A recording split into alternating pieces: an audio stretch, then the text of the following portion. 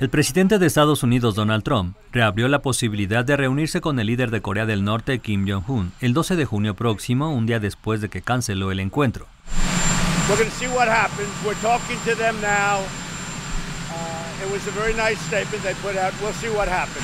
Corea del Norte reaccionó a la cancelación del encuentro indicando que Kim seguía dispuesto a reunirse con Trump en la cumbre que había sido prevista para el 12 de junio en Singapur. Antes, el presidente estadounidense había acogido de manera positiva lo que calificó como la cálida y productiva declaración de Corea del Norte, en la que el líder Kim se declaró dispuesto a reunirse con Trump. Trump aprovechó para acusar a la oposición política en Estados Unidos, los demócratas, de estar en contra del éxito de las negociaciones con Corea del Norte. El presidente estadounidense canceló el jueves el encuentro bajo el argumento de que Kim mostró en recientes declaraciones tremendo odio y hostilidad abierta.